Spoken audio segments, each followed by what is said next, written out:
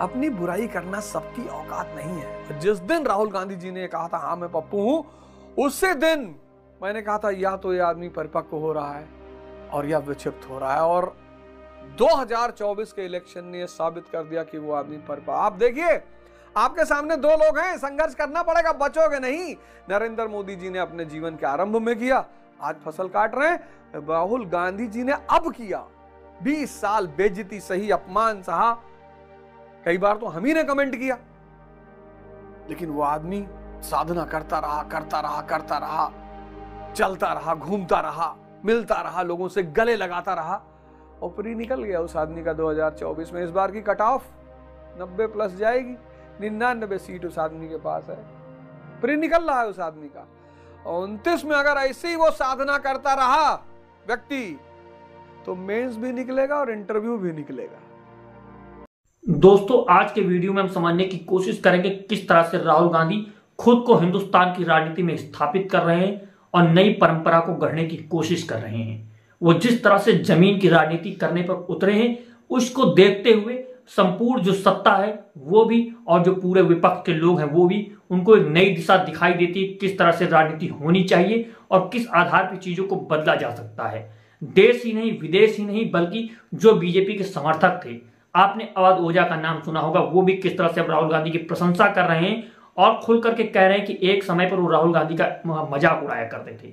जिस तरह से बीजेपी के आईटी सेल ने एक छवि बनाने की कोशिश की थी राहुल गांधी की, उसके ज़रिए वो देख रहे थे और चीज़ों को जान रहे थे, उसी आधार पर उनको कटाक्ष कर रहे थे। लेकिन अब वो जिस तरह से उनके बारे में बात कर रहे हैं, वो आपको सुनना चाहिए और समझना चाहिए। राजतंत्र में राहुल गांधी जी ने अब किया। 20 साल बेजती सही अपमान, सहा। कई बार तो हम ही ने कमेंट किया। लेकिन वो आदमी साधना करता रहा करता रहा करता रहा। चलता रहा, घूमता रहा, मिलता रहा, लोगों से गले लगाता रहा। और फ्री निकल गया उस आदमी का 2024 में। इस बार की कट ऑफ़ नब्बे प्लस जाएगी। निन्यानबे सीट उस आदमी के पास है। फ्री निकल रहा है उस आदमी का। और उनतीस में अगर ऐसे ही वो साधना करता रहा, व्यक्ति तो मेंस भी निकलेगा और इंटरव्यू भी निकलेगा। बस राहुल गांधी, तैयारी ना छोड़ें। अगर इस तरह से साधना वो करते रह गए तो उनतीस में उनका मेज भी निकलेगा और इंटरव्यू भी निकलेगा। परंपराओं का खेल हुआ करता था और सत्ता परिवार केंद्रित होती थी, परंतु फिर आया लोकतंत्र। लोकतंत्र ने अपनी प्रभुता की छाप दुनिया भर में छोड़ी और नई परंपरा स्थापित की। अब वो परिस्थितियाँ नहीं थी कि सिर्फ़ परिवार के आधार पर आपको सत्ता हस्तांतरित हो जाए। जब आप परिवार की सत्ता हस्तांतरित करने की बात कर रहे हैं तो आपकी आँखों के सामने मुगलिया सल्तनत तो अशोक का स्तंभ और चंद्रगुप्त की विरासत नज़र आती है। लेकिन आज लोकतंत्र में सिर्फ़ गांधी परिवार होने पर भी आपको सत्ता प्राप्त नहीं होगी।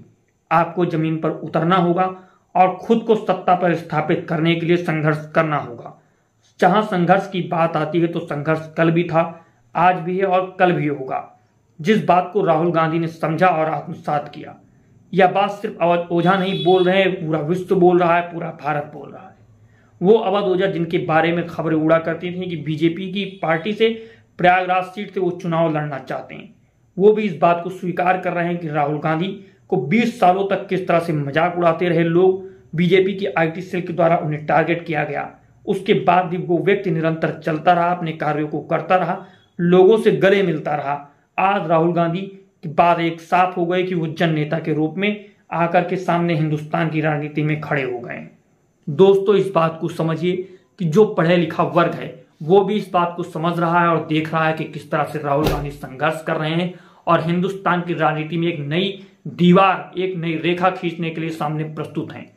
इस वीडियो में इतना ही। आप बन, बने रहे हमारे दो बोल न्यूज़ पर। हम कोशिश करेंगे इस तरह की वीडियोस आपके सामने प्रस्तुत करते रहें। मैं आमिर खान आज़ाद, जय हिंद, जय भारत।